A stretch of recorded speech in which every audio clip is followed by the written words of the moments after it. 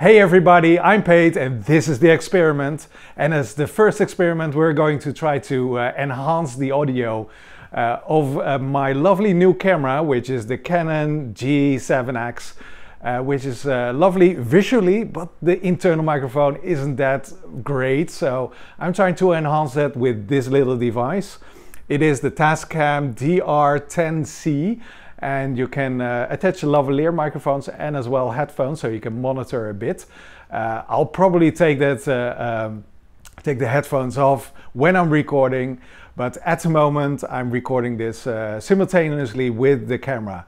So I'll be stitching the audio together and see what the difference is. So this is the internal microphone and this is the Tascam uh, or the Rode uh, microphone connected to the Tascam. So that's it. Hope you liked that. See you next time. Keep experimenting.